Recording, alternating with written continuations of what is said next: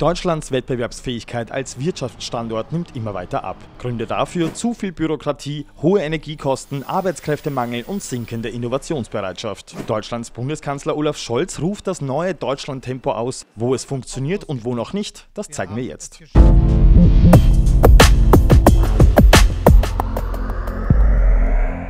Mit Stolz spricht Bundeskanzler Scholz vom New German Speed.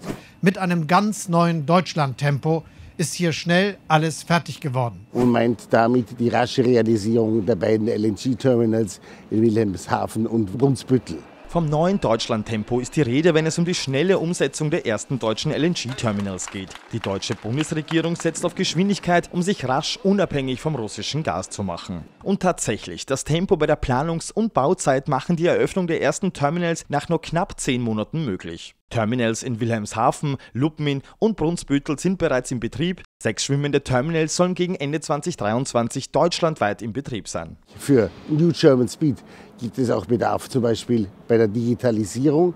So war zwischen 2017 und 2022 geplant, 575 Behördengänge online zugänglich zu machen. Geworden sind es 105.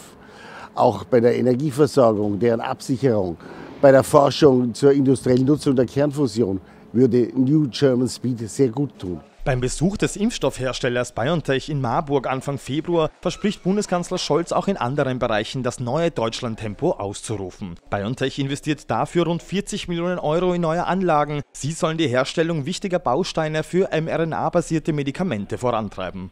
Aber wir brauchen auch gerade, wenn es um medizinischen Fortschritt geht, Rahmenbedingungen, die es schnell möglich machen, Forschung durchzuführen, mit Patientinnen und Patienten zu arbeiten, Daten zu nutzen. Und das Versprechen habe ich hier auch abgegeben. Das äh, neue Deutschland-Tempo, das wir haben und jetzt vorgelegt haben, als es darum ging, wie schaffen wir das in 200 Tagen, Pipelines zu bauen und Terminals an den norddeutschen Küsten zu errichten.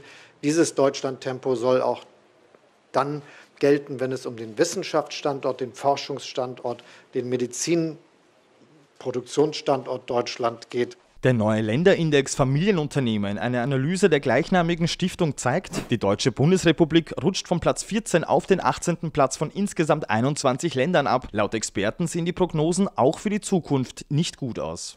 Und vor allem zur Absicherung der internationalen Wettbewerbsfähigkeit, bei der Deregulierung, bei der Senkung der Steuern, bei der Entbürokratisierung wäre sehr viel New German Speed notwendig.